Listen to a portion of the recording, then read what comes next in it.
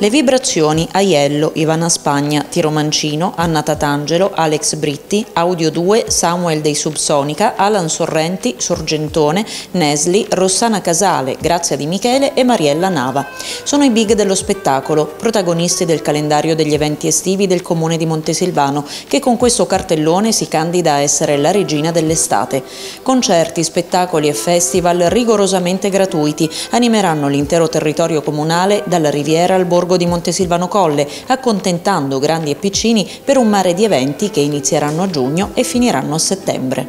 Ottavio De Martinis, sindaco di Montesilvano, quali sono gli eventi di punta di questo calendario?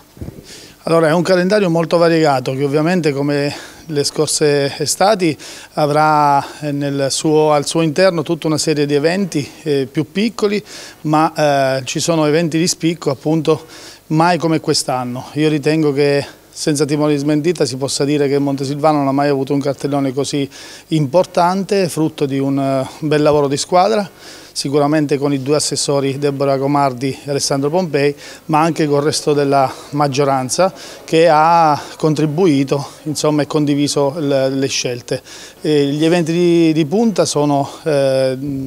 dei concerti che si terranno per, per, la maggior parte al Teatro del Mare e che vedrà sul palco eh, esibirsi eh, i Tiro Mancino, eh, le vibrazioni, Anna Tatangelo, ehm, in spiaggia ci sarà un bellissimo concerto di Ivana Spagna che ci richiamerà ai, ai tempi del, degli anni Ottanta ma non solo questo, ci sarà una serata dedicata alle cantautrici e sul palco ci saranno insieme eh, Mariella Nava, eh, Grazia Di Michele e Rossana Casale. Ci sono due appuntamenti per i più giovani, ci sarà un bellissimo concerto di Aiello che è un cantante che va per maggiore eh, degli ultimi tempi, ma anche Nesli e il nostro Critical. Insomma ce n'è per tutti i gusti e siamo certi di aver regalato non soltanto ai turisti ma alla nostra città qualcosa di importante, soprattutto considerando che noi puntiamo sugli eventi quale eh, elemento distintivo e soprattutto importante di richiamo per, per una città turistica come la nostra. Di che impegno economico si tratta? In totale, considerando non soltanto il cachet degli artisti, ma anche eh, le, le, spese per gli allestimenti dei palchi e il, la SIAE, eh, contiamo mm, un 500.000 euro di spesa. Alessandro Pompei, assessore del Comune di Montesilvano agli eventi giovanili, allora quali saranno gli eventi di punta del cartellone estivo di Montesilvano? Allora siamo molto contenti questa mattina di poter presentare un cartellone che riteniamo essere probabilmente il migliore da quando, da quando siamo in carica e ci tenevamo a farlo proprio perché questa è l'ultima estate prima della fine del nostro mandato. Abbiamo investito tanto in maniera sempre crescente anno dopo anno sugli eventi giovanili in maniera particolare e purtroppo è saltato pochi giorni fa il concerto del primo maggio ma lo recupereremo sabato in occasione del, dell'avvio del Giro d'Italia, un format fresco sul pontile di Finlandia con DJ Sciocca che è un nome che i più giovani conosceranno sicuramente. Abbiamo tante date importanti per quello che riguarda i giovani, come ad esempio il, ehm, il Ferragosto dell'Adriatico, ci saranno due giorni, 14 e 15 agosto, con degli ospiti molto importanti, su tutti Samuel de Subsonica. Ci sarà Aiello, eh, ci sarà Nesli insieme, insieme a Critical, non vi spoilerò le date così almeno andrete a cercarle sul cartellone. Ehm, all'interno del Diorama Festival che confermiamo sul borgo di Montesilvano Colle per il terzo anno consecutivo ci, come, mm, ci saranno come ospiti Pino D'Angiò e Alan Sorrenti ed inoltre tante tante altre novità perché ci, sono, ci saranno anche delle, dei DJ spiaggia, delle, delle, feste per i più giovani, al tramonto e, e molto altro insomma. Quindi ci aspetta un'estate un un molto interessante e quest'anno abbiamo, abbiamo, scelto di investire un po' di più su quelli che sono i big che presentiamo oggi, però diciamo che le, le cifre non, non, sono, non, sono, elevatissime come alcuni comuni concorrenti. Diciamo. Lei è anche assessore allo sport, ci saranno anche degli eventi sportivi che caratterizzeranno questo cartellone? Ci saranno tantissimi eventi sportivi come ogni anno da, da che siamo in carica, e, mh, ci sarà un'altra, per il terzo anno, una, la tappa del campionato italiano di beach volley, una tappa gold all'interno della quale verrà assegnata anche la, la Coppa Italia, ci sarà un torneo di street basket federale eh, 3 contro 3 Memorial Marco Zitella, ci saranno i campionati italiani di triathlon che confermiamo anche questi per il terzo anno consecutivo con oltre 5.000 presenze da tutta Italia, ci sarà la Montesilvano Futsal Cup eh, giunta alla decima edizione con partecipazioni dal, dal Sudafrica, dal Giappone e dal Canada, e, mh, ci saranno dei campionati giovanili di ciclismo che porteranno circa 10.000 presenze a, a metà giugno, e, insomma anche, anche, dal punto di vista dello sport ci sarà un'estate molto, molto, molto attiva. Avremo poi a giugno il, il Pulpa Festival le finali nazionali di, di pallamano, insomma davvero, davvero tanta carne sul fuoco. Deborah Comardi, assessore del Comune di Montesilvano per il turismo, il 15 agosto altro appuntamento importante con un nome di punta. Il 15 agosto avremo Alex Britti al Teatro del Mare e avremo anche un grandissimo concerto sulla spiaggia del Java Beach, quindi un doppio appuntamento per eh, gli appassionati della musica. Quest'anno abbiamo voluto puntare enormemente sul cartellone degli eventi dopo i grandi risultati ottenuti dalla città di Montesilvano eh, risultati che ci hanno consentito di entrare nella top 10 di Airbnb, che è un risultato straordinario per Montesilvano, non era mai accaduto, abbiamo investito in questi anni, vogliamo continuare ad investire per eh, creare di Montesilvano, per fare di Montesilvano la regina degli eventi estivi. Come sono stati scelti questi artisti? Qual è il criterio che vi ha guidati nella scelta? Il criterio che guida la scelta degli artisti è un criterio che tende a accontentare quelli che sono i gusti più disparati, quindi qualcosa per i giovani, qualcosa per i meno giovani, ehm, trend pop, un po' sul rock, band, singoli, quindi è un cartellone che tende ad essere variegato proprio per accontentare i gusti dei più. Sono tutti eventi gratuiti? C'è qualcosa a pagamento? Come Montesilvano abbiamo puntato sugli eventi gratuiti e dall'inizio del nostro mandato che teniamo questa linea vogliamo far usufruire della vitalità, della bellezza, della musica e della gioia a tutti i cittadini di Montesilvano e a tutti i turisti e i turisti così che possano continuare a scegliere Montesilvano come meta per le proprie vacanze. I cittadini possono invece usufruire di due mesi pieni di vacanza senza spostarsi da casa. E ne gioverà anche il turismo e ovviamente tutto l'indotto. Assolutamente, è proprio una scelta di tipo strategico perché il turismo porta economia. Dopo la parentesi del Covid, tra l'altro c'è ancora tanto da recuperare. Sì, sì, tant'è che abbiamo proprio mh, fatto un'escalation dopo il Covid, abbiamo cercato poi di recuperare tutto quello che è, tutto quello che è andato un po', eh, che è rimasto sospeso, anche se durante il Covid Montesilvano ha retto molto bene, poiché abbiamo creato tutta una serie di eventi diffusi per cui siamo riusciti a reggere anche questa grande sfida.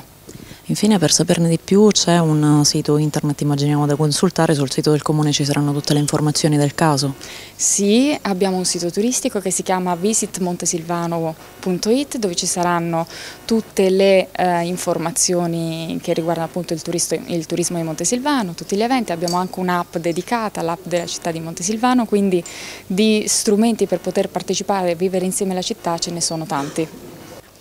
Sindaco, come vi organizzerete per gestire anche il flusso delle persone che accorreranno per vedere questi concerti? Diciamo che siamo ormai collaudati perché negli anni abbiamo strutturato un'isola pedonale con degli spazi parcheggio che garantiscono insomma, una fluidità dal punto di vista non soltanto del traffico ma anche del, appunto del, degli, degli, spazi da, da, visitare e degli spazi di sosta per, per, arrivare poi ai luoghi dove deputati a ospitare gli eventi. E in più ogni anno c'è un terzo turno della polizia locale eh, che prevede prevede un numero cospicuo di agenti della nostra, della nostra polizia locale che eh, fungono da, eh, insomma, da, da, monito e da deterrente per eventuali eh, situazioni spiacevoli che però non si sono mai registrate ma che servono anche da, mm, ai fini di un'organizzazione che è sempre eh, strutturata ma che necessita sempre comunque di un, di un controllo importante. L'isola pedonale da quando sarà eh, attiva? Dal 29 di giugno chiuderemo al traffico tutte le sere il tratto che va in modo particolare da Via l'Europa fino al Paladin Martin che, che, risulta essere poi il luogo che più di tutti ospita la, insomma, gli eventi, ma non soltanto quest'area ma anche Monsilvano Colle sarà attenzionato da una zona a traffico limitato per tutta l'estate e anche il tratto dell'area Giova dove si terranno eh, degli eventi. In alcune, eh, in alcune serate particolari eh, potrà essere chiuso al traffico, eh, stiamo organizzando un po' tutto ma siamo come dicevo collaudati quindi siamo certi certi che tutto andrà bene come del resto è andato in questi anni. Il Paladin Martin sarà un punto nevralgico per i parcheggi, ma eh, in conferenza stampa lei ha annunciato anche importanti novità che riguarderanno questa struttura a partire da settembre. Ci vuol dire qualcosa in più?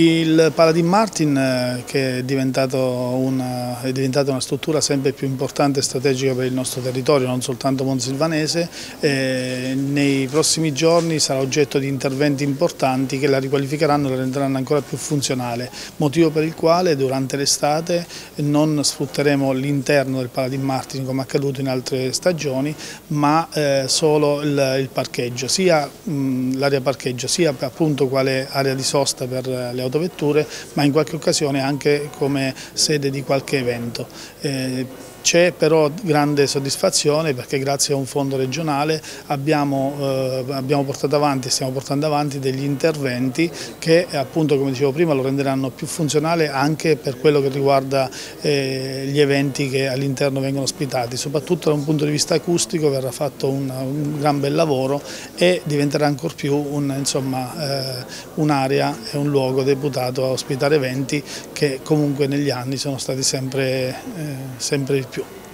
Gli eventi che sono stati presentati in questo calendario estivo, un mare di eventi, non riguarderanno soltanto eh, la zona della Riviera perché eh, lei ha detto che sarà coinvolto davvero tutto il territorio comunale, anche il borgo di Montesilvano Colle. Dall'inizio del mandato abbiamo dato grande importanza al borgo che, eh, voglio ricordarlo, è la sede del primo insediamento umano di Monsilvano. Monsilvano è nata dal borgo e quindi un po' per questa valenza storica che stiamo sempre più rimarcando, ma anche per la bellezza del luogo eh, abbiamo pensato anche quest'anno come negli altri anni di organizzare degli eventi che poi in, in controtendenza con quello che si faceva in passato non riguarderanno soltanto ecco, una fascia eh, di età alta eh, o medio-alta con eventi culturali, ma c'erano anche eventi giovanili e questo ci fa un gran piacere perché sono poi anche i ragazzi che negli ultimi anni hanno voluto e potuto apprezzare il nostro meraviglioso borgo di Monzivano Colle. Ce ne sarà per tutti i gusti e per tutte le età, come diceva, e questo è un segno anche di attenzione alle tante famiglie che magari vorrebbero eh, organizzare eh, qualcosa per i più piccoli eh, e in questo caso voi mettete a disposizione eventi gratuiti anche per le famiglie che magari non possono permettersi di eh, spendere troppi soldi per i propri figli. Sì, è una scelta, è una politica che abbiamo attuato dal, da, da tempo, da quando sicuramente io sindaco, ma anche prima quando rivestivo il ruolo da assessore agli, agli, eventi della città di Montesilvano. È una politica appunto che vuole favorire le famiglie, noi del resto siamo una città che vive di turismo familiare, quindi è giusto eh, ponderare delle scelte proprio in direzione di eh, un gradimento da parte non soltanto di, dei turisti eh, che viaggiano da soli, ma anche e soprattutto da coloro che hanno al proprio interno, al, nel, nel nucleo familiare, eh, delle mm, esigenze diverse e quindi considerando considerando anche che gli alberghi fanno dei pacchetti una settimana, noi in ogni settimana cerchiamo di variegare il più possibile in modo tale da offrire ogni sera qualcosa di diverso e soprattutto di, che possa essere di gradimento a tutti, al papà, alla mamma, al nonno ma anche al bambino.